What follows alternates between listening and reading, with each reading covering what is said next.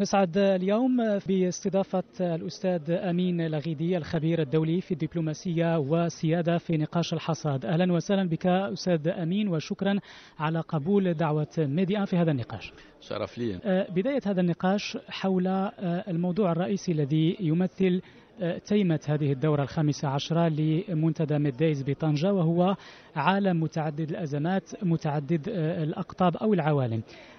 كيف يمكن أن نقرأ هذا العنوان؟ كيف يمكن لعالم متعدد الأزمات أن يصنع لنا عالم متعدد الأقطاب متعدد الاتجاهات؟ بداية أتشرف بترأسي لمجموعة من المحاضرات اليوم. في ظل هذا المنتدى البارز منتدى ميديز الذي يحتفل بسنته الخامسة عشرة الذي كان لي كذلك شرف أن نحضر من من أول دورة والذي ينعقد تحت رعاية السامية لصاحب جلالة الملك محمد السادس نصر الله وأيده منتدى يعرف استمرارية استمرارية في العطاء.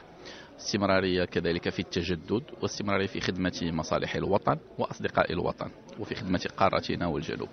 ومنتدى نجح من منظور المتواضع جدا في بناء شيء مهم وهو عائلة من محبي المغرب حول العالم.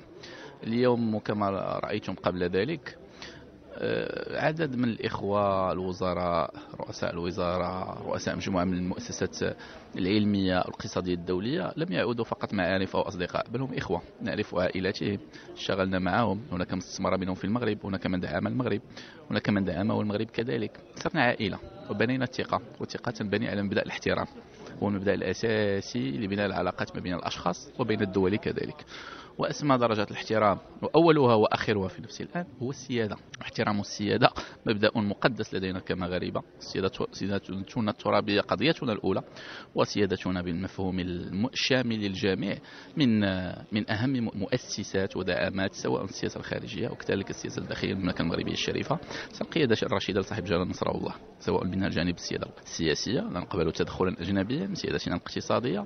وهو المفهوم الذي مأسس له صاحب الجلالة ونظر له في خطابه الشهير في افتتاح البرلمان في 8 أكتوبر لم تخن الذاكرة من 2021 حيث تكلم صاحب جلالة نصر الله وأيده عن مبدأ السيادة بمفهومها الشامل للجميع بما فيه الجانب الاقتصادي عن طريق تطرقه إلى موضوع السياسة الطبية والدوائية تحسينا لمستوى عيش المغاربة كذلك التغطية الصحية السيادة كذلك الطاقية تحسينا كذلك المستوى عيش المغاربة جلب الاستثمارات خصوصا منها الصناعية تصديرا للطاقة بما فيها الطاقة المتجددة واحتراما للأجندة المناخية كذلك الصيادة الصناعية ومبادئ أخرى من السيادة بما فيها الغذائية وهي التي يساهم فيها المغرب بشكل كبير.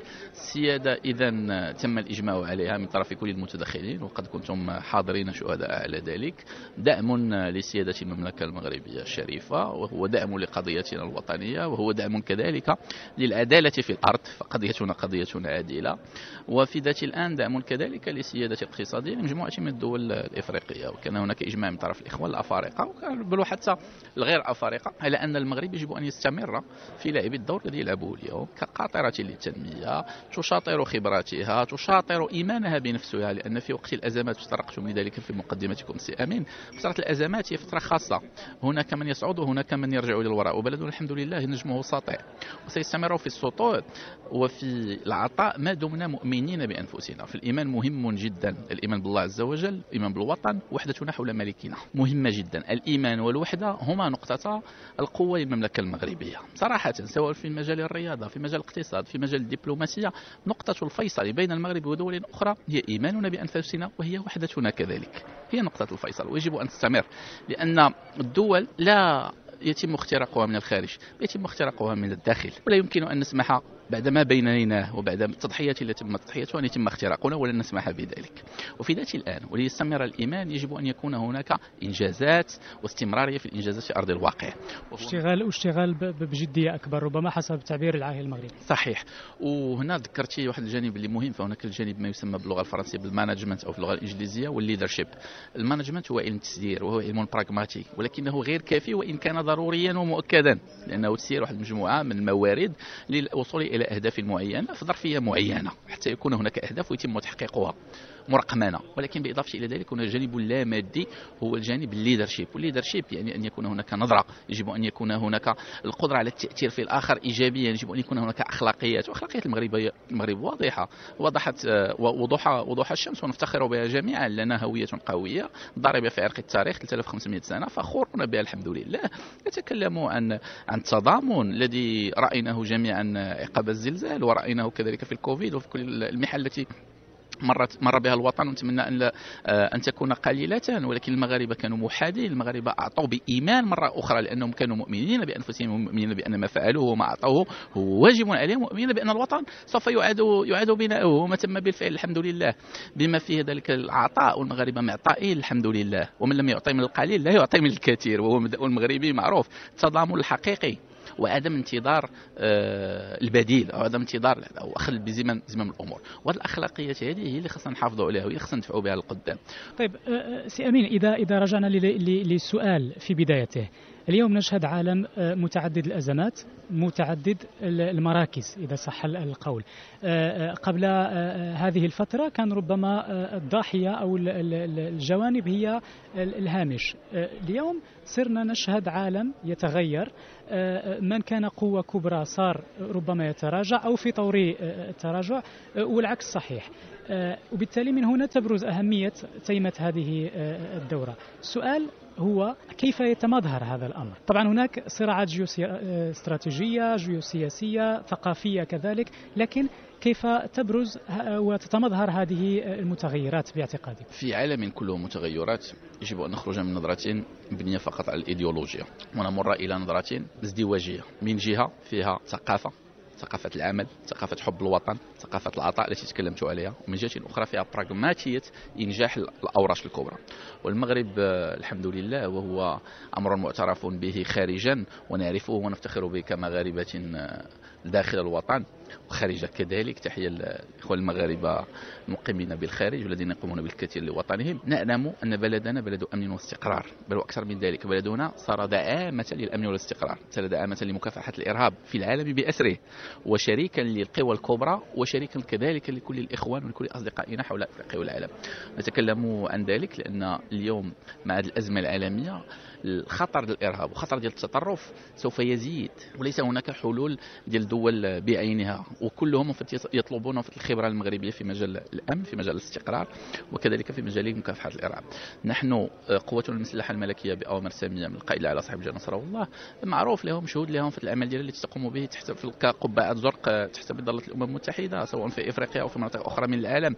مشهود لها بانضباطها بنزاهتها مشهود لها بنجاعتها.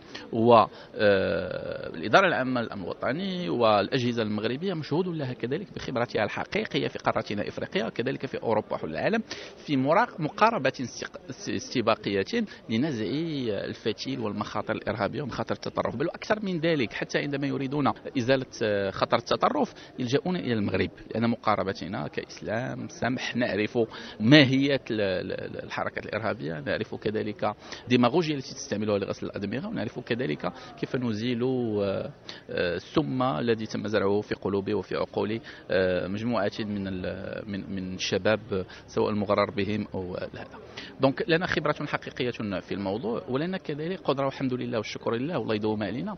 في تحويل مجموعة من نقاط الضعف إلى نقاط القوة.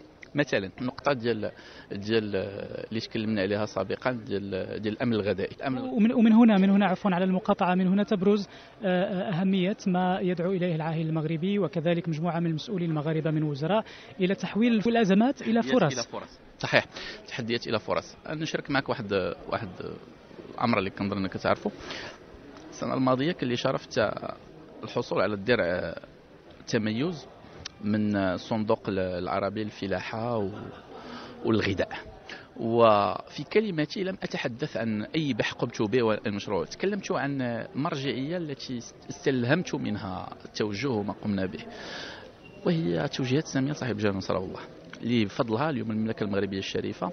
سالت صارت قاطرة فعلية للأمن الغذائي العالمي من الباب ديال المابينغ ديال الأراضي ومعرفة ماهيتها الجيولوجية والكيميائية إلى باب ال fertilizers أو الأسمدة ومواكبة الفلاح مواكبة علمية حتى يستطيع أن يسير وليس فقط أن يزرع أن يسير مزرعاته إمكانية الولوج إلى الأسواق الإمكانية كذلك اللوجستية لضمان أن الموارد الغذائية تكون حاضرة العام كامل وليس فقط في فترة معينة إلى التحوير إلى التصنيع إلى ما ذلك. donc هذه المقاربة المغربية وهذه المساهمة المغربية وهذه الرغبة ديال المغرب اليوم الحمد لله هو اللي كيعطينا الاحترام ديال الدول في العالم كامل. وكذلك استثمارات حقيقية. اليوم مجموعة من الخبراء الفلاحيين مجموعة من شركات الاستثمار الفلاحي المغربية مشات للدول الإفريقية. لأن كاين كاين أراضي كاين وعاء عقاري اللي كبير واليوم مجموعة من الاستثمارات المالية كتجي للمغرب تمشي للدول الافريقيه هذه من جهة. دونك المساهمة ديالنا في المغرب مساهمة جيدة ومعترف بها جدا. والنقطة الثانية واللي مهمة جدا بالنسبة لي وإن كانت كل النقط مهمة من بعد من الأمن ومحاربة الإرهاب والتطرف من بعد من الموضوع ديال الأمن الغذائي اللي مهم وجامع ومانع في البشرية جماعة وجالي فرص استثمار ومحور في النقط ديال التحدي النقط ديال القوة هو النقطة ديال ديال الطاقة. أه، تفكر مع الثمانينات والتسعينات كيفاش كانت الوضعية عندنا. كنا كنستوردوا كل شيء. نعم من دول عزيزة علينا جدا وشقيقة وهذا ولكن كنا كنستوردوا كل شيء. المملكة المغربية قربت 50% من القدرة من الكاباسيتي القدرة ديال الإنتاج ديال وأكثر من ذلك ما بقيناش مقتصرين فقط على الطاقة اللي نقدروا نسميوها اليوم كلاسيكية وإن كانت ليست كذلك اللي هي الطاقة الشمسية الريحية والمائية. اليوم ولينا دولة ذات أه، بادرة وتأخذ البادرة في مجموعة من الطاقات الجديدة من بينها الهيدروجين. الأخضر وليس فقط لإنتاج الهيدروجين بل أكثر من ذلك. اليوم صرنا بعد أن كنا نصدر عن طريق الكابل البحري اللي غادي لإسبانيا بلد الصديق والذي يحترم المغرب ونحترمه كذلك ونحب كل من يحترمنا ومن من يشتغل معنا.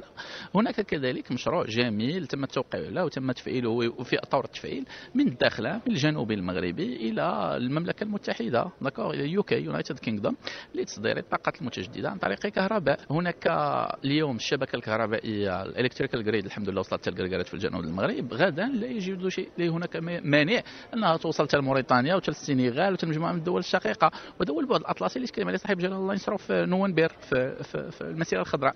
وفي ذات الآن هذه كتجي كتكمله الأسس التي تم وضعها من طرف صاحب الجلالة وما بينها المشروع ديال ديال ال pipeline المشروع ديال الأنبوب الغاز اللي جاي من نيجيريا حتى المغرب وكنذكر بالبلدان لأن خصنا حنا كمغاربة خصنا نحفظوا الجغرافيا ديال إفريقيا. حتى ديال القيمة المضافة ديالنا. راه عندنا تاريخ عندنا الحمض النووي ديالنا l'ADN ديالنا إفريقي كذلك. d'accord خصنا نكونوا مفتخرين بمعرفتنا الإفريقي لأن الأجنبي ما تيعرفش افريقيا بحالنا حتى ولو ما عرفها ما كيحترمش الثقافة والحضارة. حنا كنمشيو كاحترام. بيناتنا كتجمعنا الدين وكتجمعنا الثقافة وبعض المرات كتجمعنا حتى اللغة وتجمعنا الجغرافيا donc إلا خرجنا من نيجيريا وهي أكبر دولة في, في, في إفريقيا من ناحية ديال ديال تعداد السكان وأكبر كذلك ناتج خام وما إلى ذلك ودولة واعدة جدا. عندنا الطوغو عندنا البنين والبنين راه كانت إمبراطورية كبيرة الإمبراطورية ديال الداهومي. باش الناس تهتم بهذه الأمور هذه كنوصلوا لغانا. من بعد منها كنوصلوا لكوستا في الساحل العاج البلد الشقيق الصديق الوزير الخارجي ديالهم كان معنا اليوم. كنوصلوا كذلك من بعد منها لسيراليون ليبيريا. دولتين غنيتين ما شاء الله بالموارد. اليوم في ح... ومن بعد من الحرب الأهلية ولاو اليوم في آمن وأمان ويقدروا يكونوا واجهتين كذلك الاستثمار. كنوصلوا من بعد منها للسنغال الغينيا كوناكري وغينا بيساو والسنغال الشقيق والغامبيا والموريتانيا والمغرب. 13 دولة ذات السيادة. وهذا المشروع ديال الغاز علاش كيعجبني؟ لأنه هو مشروع ممنهج في نفس الحأن غادي يمكن مجموعة من الدول أنها تصدر لأوروبا. وتعاون أوروبا في أنها كذلك يكون عندنا مجموعة من المصادر ديال ديال الطاقة. بلا ما تزاحم حتى شي واحد بلا ما تدخل في منافسة مع حتى شي واحد لأن ماشي هذا هو الهدف ديالنا. وتاخذ قيمة مضافة بالعملة الصعبة اللي جديده كاين دول اليوم منتجة للغاز حتى هي تقدر تدخل في هذا المشروع ديال الأنبوب. وفرحانة ودول أخرى تستافد من الغاز. تستافد منه فاش لأن الغاز كيولي هو هو الكهرباء. بحال واقع حنا في طنجة حدانا كاينة la centrale ديال الدارت ديال الأصيلة. الغاز كيعطينا كهرباء اللي ما غالياش بزاف وما كتأديش بزاف الطبيعة والمناخ. وفي ذات الآن الغاز كيقدر يتحور كذلك إلى صناعة كيميائية. donc آه، خدامة في جميع الجوانب. ولكن قبل ما نوصلوا كاع للتصدير راه خصنا بنية تحتية خصنا وزينات آه، ديال ديال ال pipeline ديال ذاك الأنابيب en PVC اللي غادي يداروا. donc استثمارات جديدة اللي غادي تجي هذا النوع ديال ديال التواصل اللي كنقوموا به دابا أنا وياك هو اللي خاصو يبدأ يدار. هو اللي خاصو يبدأ يدار. لأن المواطن تعريف بالمشاريع. صحيح. المواطن يحب وطنه يحب ملكه يحب بلده مؤمن بوطنه. يجب أن يرى هذه المشاريع في مسؤوليته اليومية. في طموحاته اليومية. الا كيقرأ وليداته تيقول لك نقريها في هذا المجال لأن غتستافد منه غدا لأن هذو المشاريع الملكية فين غادية؟ إلا عنده شي بركه باغي يستثمرها تيقول لك غادي نمشي هذا الاستثمار ديالي فين غيمشي؟ لأن كاينة لوبورتونيتي وكاينة الفرصة عندي جاية لقدام وخاصنا نديروا واحد النوع من التحوير لأن خصنا اليوم نربحوا معنا الشارع حول هذا الشارع المغربي والشارع الإفريقي كذلك حول هذه المشاريع. على ذكر هذه النقطة أستاذ أمين وآخر سؤال وأتمنى أن يكون الجواب مختصرا إلى حد ما. طبعا العاهل المغربي آه، لطالما آه، اتجه نحو مسألة التعاون الافريقي مع البلدان الشقيقة طبعا من خلال كل هذه المشاريع التي آه، أتيتم على ذكرها. لكن بالمقابل وهذا كان موضوع الندوة التي شاركتم فيها. نظرة أوروبا العلاقة بين أوروبا وإفريقيا هي إلى حدود اليوم علاقة ملتبسة. استمرت لمدة طويلة ارتباطا بالاستغلال لاستغلال الموارد. اليوم القارة هي في طور النمو نمو متصاعد وكبير جدا من الناحية الاقتصادية. لكن مع ذلك ما زالت النظرة الأوروبية ربما تنظر إلى إفريقيا كموارد كمصدر للموارد باختصار إذا تفضلت كيف يمكن أن نقرأ هذه العلاقة بين القارتين خصوصا وانه في اليافطة العامة هناك نوع من التعاون لكن ربما فيما هو مبطن هناك ما زالت تلك النظرة الاستشراقية والاستشراقية لا تحيل فقط على الشرق في هذه الحالة. سيدي العزيز الجغرافيا جعلتنا قريبين من القاره الاوروبيه. زمن الاستعمار قد ولى زمن الاستعمار قد ولى لم ولن نقبل شيئا غير الاحترام والمصلحة المتبادلة. هذا المنطق. واضح.